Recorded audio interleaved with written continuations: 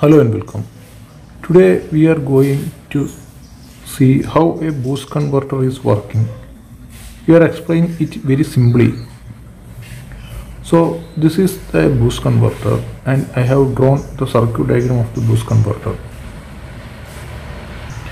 It has an input capacitor and an output capacitor. Like that I have drawn that. It is working on this IC which is controlling the switching.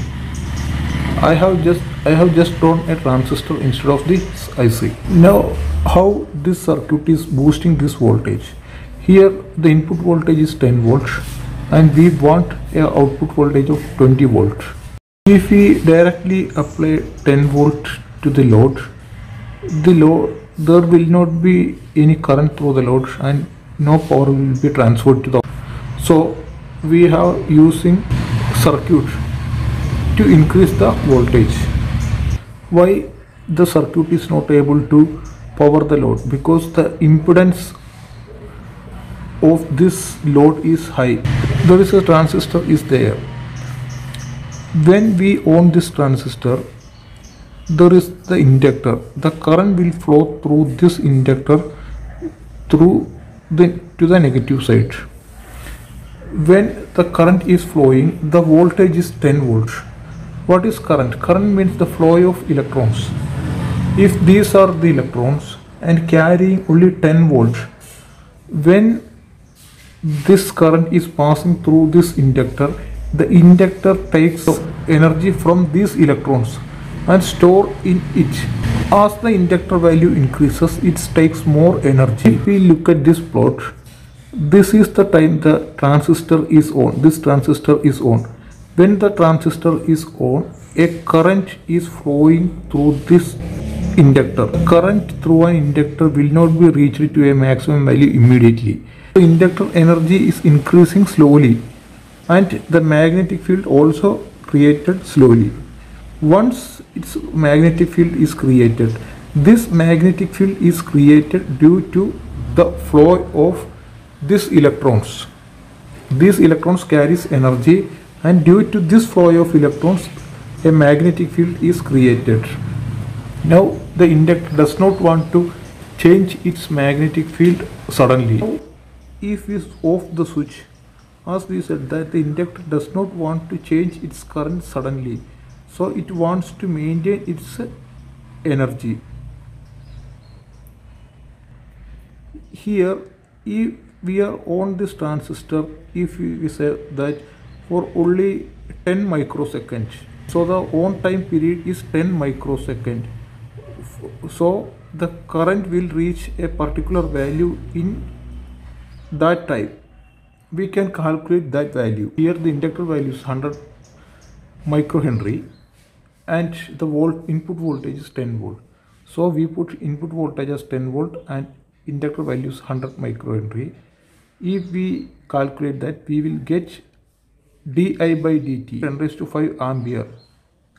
This is for one second. If we allow the current to flow in one second the current will reach to this value. This will raise to 10 raised to 5 that means 1 lakh ampere. It will reach in one second.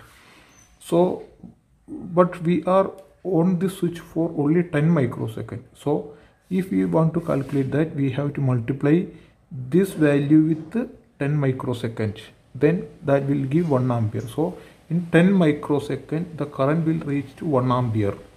The maximum value of the current is 1 ampere here. So we can write this value as 1 ampere in 10 microseconds. Now this is the peak value. 1 ampere is the peak value of the current.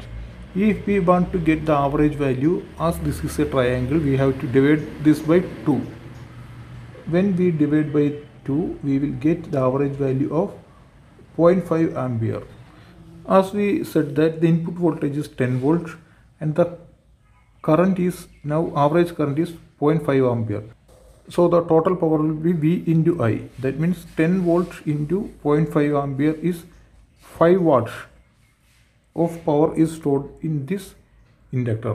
When we off this transistor as the inductor has the property that it wants to maintain its current constant or it does not want to change its magnetic field or is, does not want to change its energy. So the energy is created by the inductor through the flow of electrons. As we said that through the flow of electron it is created that magnetic field. If suddenly that current struck the magnetic field will collapse. So if when we off this switch the magnetic field began to collapse. And the inductor wants to flow its the same current. Now it changes its polarity. So now the input voltage is 10 volt and the output voltage we want is 20 volt. So the inductor has to supply a voltage of 10 volt. Earlier when the switch is on for 10 microsecond it has received energy from this battery. Now it has to supply the same 10 volt. This can supply for 10 microsecond the same 10 microsecond.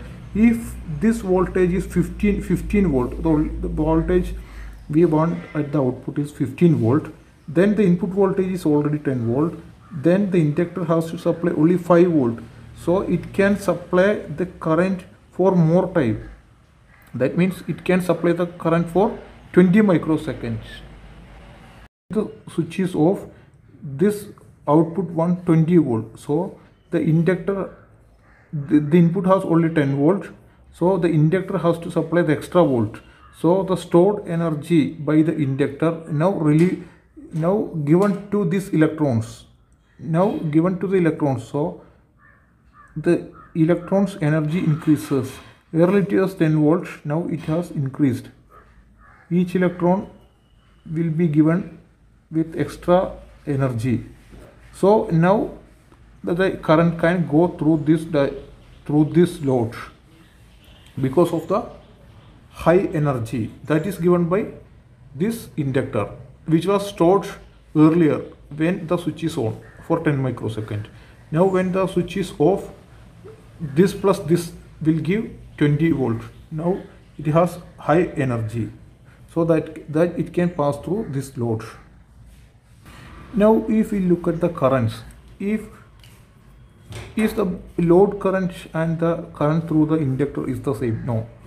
Why? Because when the switch is on, the inductor current only flows through this transistor. So no current is flowing from input to the output.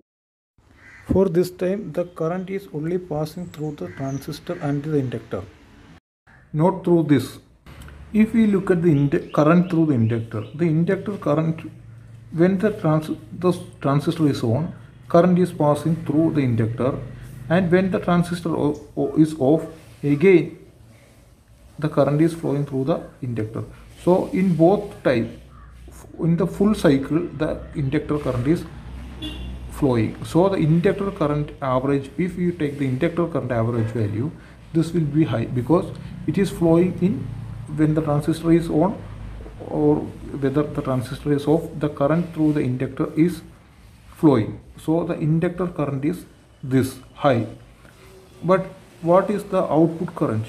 The output current is this when this transistor is off then only then current is flowing through this diode through, through through this capacitor and through this load.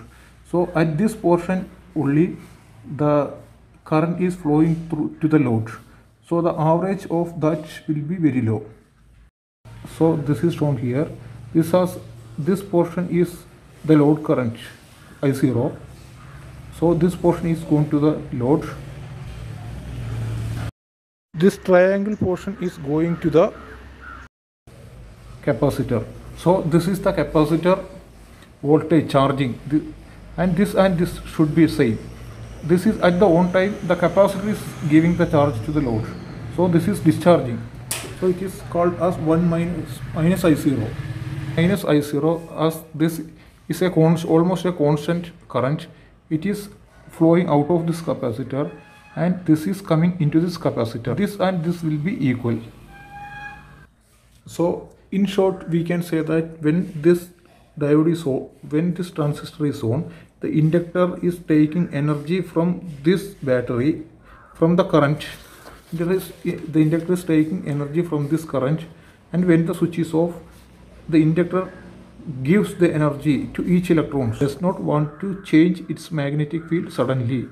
So by using that property of inductor boost converter is working and as we know that the V0 I0 is equal to V in into IN. That means if the in, the power coming into the circuit is equal to the power coming out of the circuit. Vn In means the power taking from the circuit. V V0 I0 means the power used by the output. These are equal. As we know that for a boost converter, boost converter means is it's in increasing the voltage. That means here the input voltage is only 10 volt, but we want 20 voltages at the output. So what it will do? It will pass more current through this. So the IN will be high. The IN current, as we said here, that the IN will be the load current through the inductor will be high. IN current will be high, but the I0 current will be low. Then only this will be equal. Now, what this equation means? If we want 20 voltage of output, if want more voltage, 20 volt here, then from this equation we say that the output voltage we want is 20 volt and the input voltage is 10 volt. Now, how we can find the D? 1 minus D, if we put these values, in order to get 20 voltage at the output, we have to on this transistor for half time. Then we will get 20 volt output. If we want to calculate the output current, then we said that I0 is equal to IN into 1 minus D. I0 is equal to IN is 0.5 into 1 minus D. D we already calculated half. That it, it 1 minus half means half. Half into half 0.25. So I0 will be 0.25. So the inductor is doing what the inductor is doing is that when the switch is on inductor takes the energy and when the switch is off inductor gives the energy to the electrons in order to pass through this load or to the capacitor. So during the on time the inductor is charged. And at the same time the capacitor is also discharging through the load. Transistor is off the inductor gives the energy to each electrons and it, it is able to pass through this load and through this capacitor. And the voltage ratings of this diode is when this voltage when the switch is on this point will be at 0 and this point is at 20 volt. So the diode has a peak inverse voltage of 20 volt. And when the switch is off the diode is conducting. At that time the voltage at this point is this 10 volt plus is this 10 volt 20 volt. So both the diode and the transistor has to with such 20 voltage. How can we calculate the value of the output capacitor? We know that the current uh, supplied by the capacitor during the on stage is uh, I0 so I0 is the current. That is supplying by the capacitor during the on stage.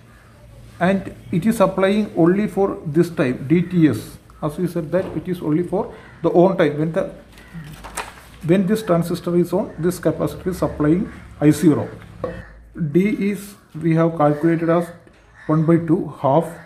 The i0 is 0.25 we have calculated it's 0.25 and the time is the total time is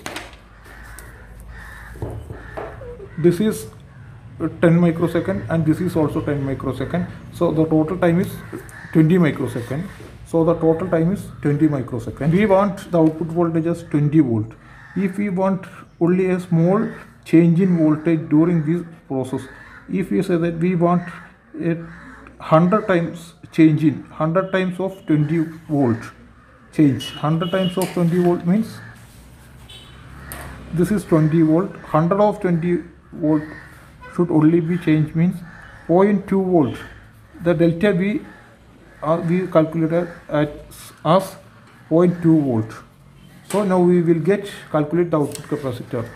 It is the output current is 0.25 the output current is 0.25 ampere dts means the time is 20 mi- total time is 20 microsecond into d the on time is dts means 10 microsecond the on time is 10 mic 10 into 10 raised to minus 6 and delta v as we calculated as 0.2 0.2 give 12.5 microfarad. So the capacitor value is 12.5 microfarad.